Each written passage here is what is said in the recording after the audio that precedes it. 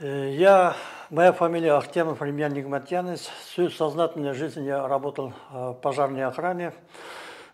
Последний занимаемый должность у меня начальник отряда государственной противопожарной службы по охране Краснокаменского района и объектов АИН Кабашнефет. Подполковник в отставке. Я интересуюсь новостями пожарной охраны, вот, который э, в городе Нефтекамске событие произошло, закрытие многофункционального корпуса «Урал». Э, об этом я услышал, как говорится, накануне и сам по зову сердца пошел э, консультировать э, и участвовать при работе государственных органов, в частности, служба судебных приставов, прокуратура города Нефтекамска, а также это государство пожарного надзора города Нефтекамска, межрайонного отдела. Увидение меня, конечно, очень возмутило. Те нарушения, которые имеется решение суда от 24 августа, эти нарушения, будем говорить, не Э, приносит к пожару. Почему это говорю? Это нарушение режимного характера. Вот, например, отсутствие таблички э, станции насоса пожаротушения, он никак не может принести к пожарам. Вот э, такие вот мелкие нарушения, там, вот, э, я потом еще вам покажу. Вот есть такое понятие план эвакуации э, вот, из здания. Она э, выполняется соответствующими фирмами, которые имеют лицензии. У нас были вот, э, когда мы обходили сотрудник прокуратуры очень усердно вот это э, линейками мерил это вот таблички, вот размеры не подходят, это не по... Просто вот э, стыдно вот за этих работников, вот э, рабочих, э, будем говорить, это вот их работа вот показывает вот э, неуважение своему народу. Почему я так скажу? Я долгое время, когда работал пожарной охране, э, у нас было право, мы сами вот инспекторам, я долгие годы инспектором работал на автозаводе, где 12 тысяч человек работает. У меня на руках был пломбир. Если я мог подойти, любой всех закрывать, из-за моих действий могли пострадать там десятки э, тысяч людей, потому что завод, если останавливается, это градообразующее предприятие, мы никогда на такие вот крайние случаи э, не шли, не закрывали, ничего такого.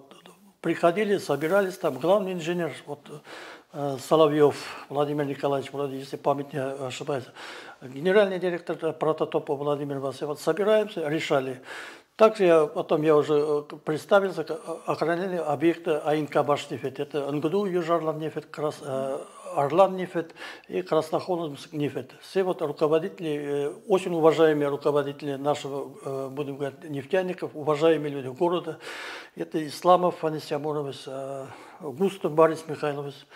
Красохоломск вот, э, запамятовал. Э, эти люди вот были вот это до такой степени вот нравственные люди. Я у них как будущий инспектор пожарной охраны учился. Если какой-то вопрос возникал, мы сразу садились, решались.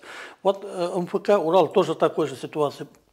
Рафиль Назипович никогда не отрицал вот это э, нарушение, надо не устранить, не затягивал, там, создал, э, создана была специальная бригада и начали устранить. Еще один момент есть, меня вот это почему-то возмущает. Есть у нас закон о защите прав индивидуальных предпринимателей э, и юрлиц. И этот закон э, не позволяет, если объект только что открылся, в течение трех лет его никто не имеет, ни один контролирующий орган не имеет проверять. Есть специальный закон.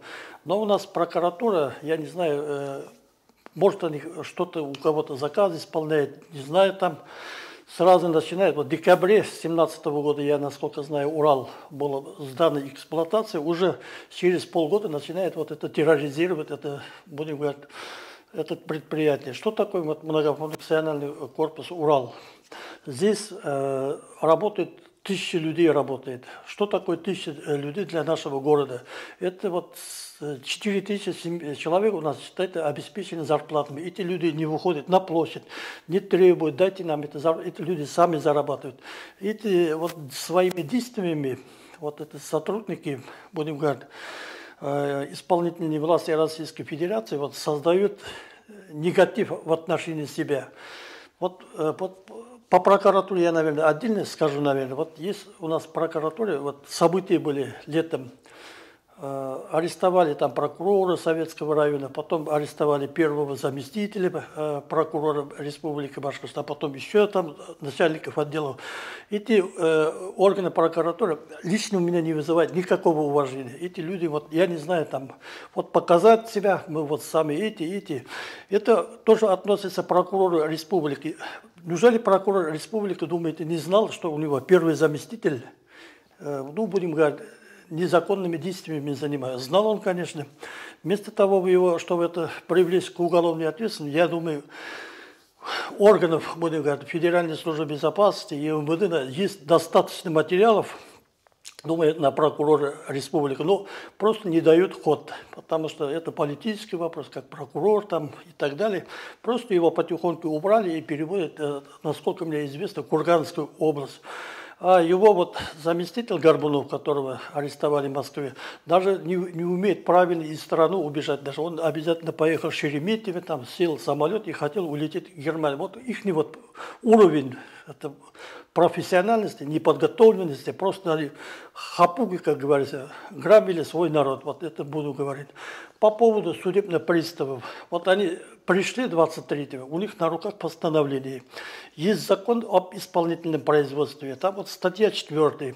Принимая решения, судебные приставы должны быть законными, обоснованными и эти э, требования не должны унижать граждан, э, принизить их этот и так далее. Есть также, э, вот по нашему э, МФК «Урал», у них было, вот они пришли сразу закрывать это, но по закону вот собственники должны дать 5 дней. В течение 5 дней можно было устранить. Этого они ни в каком случае не признают. Вот мы сразу, мы э, крутые, 20 человек с Уфы приехало, сели автобус с автоматчиками. Еще местные, там 40 человек, вот это э, предприятие закрыли. Это ужас. Такой случай был у меня, вот это когда видел по телевизору, там в Москве э, садоводские товарищи речник закрывали, там зимой людей выкидывали на... Это вот аналогичный случай вот такой захват этого чужого имущества, вот, применяя властные структуры, не думать ни о последствиях, ни о чем. Вертолетный э, вот, нали, э, наличие этой вертолетной площадки никаким образом не влияет возникновение пожара. Я вам уверенности говорю, он есть, вертолетная площадка, он никакого отношения не имеет пожарной охране. Есть, туда вертолет не, не садится, значит он не используется ни по назначению. Тем более сейчас вот сегодня должен научно-технический совет главного управления должен состоять. Его уже и меняется название там, он будет это как это, люди будут приходить туда, любоваться с нашим городом. То есть он уже не вертолетная площадка там. Вертолетная площадка, еще раз говорю, развитие пожаром никакого отношения не имеет. Также вот отсутствие плана эвакуации, хотя они у нас есть, там есть и подписи. Такие вот мелкие нарушения, которые не приносят пожарам. Об этом можно было даже не говорить. Когда вот я уже говорил, будучи инспектором, когда я приостанавливал, я знал, когда уже пломбирую, закрываю, я, да, если я сейчас не закрываю, именно будет пожар. А пожар от чего может быть? Опасное производство, там проводится сварочная работа, газосварочная работа. Там.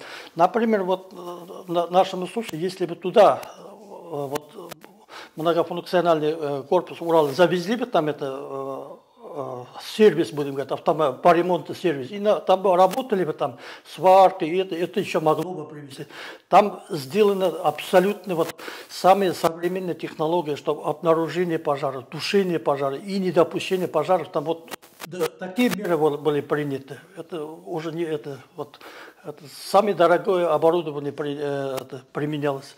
Ну, по решению суда, что я могу сказать? Решение суда, там, э, хотя она уже вступила в законную силу, его дальше надо продолжать обжаловать в кассационном порядке, в Верховном суде. А почему судья такое решение принимает? Я думаю, судьи боятся после этого события, зимней вишни у нас это э, произошло. Сейчас судьи боятся, вот, они уже как-то вот заложниками ситуации.